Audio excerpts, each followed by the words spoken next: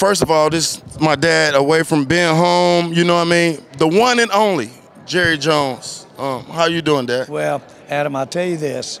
Uh, some of my greatest times were uh, when we had a chance. You played Cowboys. I had a chance to be with you. Uh, we'd uh, be together when the ball was nearby. We'd be together when it wasn't nearby. But we're together, and what I'm proud of is how our relationship. How long has that been now? 20 Yeah, years? 19 50 years. About 19 years, and uh, we still have the relationship uh, uh, going forward that we have, and I feel uh, like it was yesterday.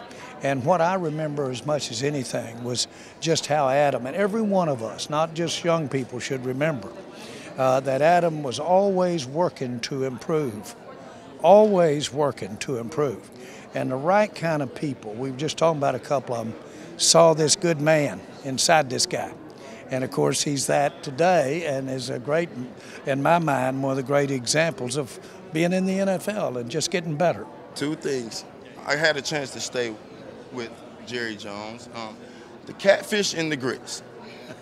Is it still the catfish, or what, what's what, what's what's the food of the trait? Hey, is it no. still the catfish? Yes, still is catfish. And Adam did stay uh, at my place. Uh, one of the night I get a call at two in the morning, and he's been fishing, competing against Deion Sanders for who could get the biggest bass at night in Deion's boat. And they bet the boat, and Adam won the boat Yeah. from Deion Yes, for I the did. most fish. Yes. And he had to call me at two in the morning and say, Jerry, I just won Deion's boat. I just want to say thank you, man, for always being there for me, support me after football, after I left Dallas. When I called you the other day, getting on your nerves when you was out the country at fucking two o'clock in the morning, I just want to say thank you. And I didn't understand what you told me at first. And you told me, you said, Pac, I never forget this. I tell people this all the time. You said, you ain't doing nothing wrong, You're just doing it with your ass out in the street. That stuck with me and that changed my life, the way I think about things, the way I approach things. So, man, I want you to know that. While we're here, I want to give you your flowers. I want to say thank you. What you did for me changed me mentally and personally as a person. So I want to say thank you, and I love you. You know that. Tell you one thing. Toda una leyenda de la Don't ever take a young man or a kid and give up on him.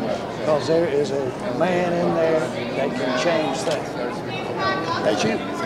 He did. He wasn't easy to give up on.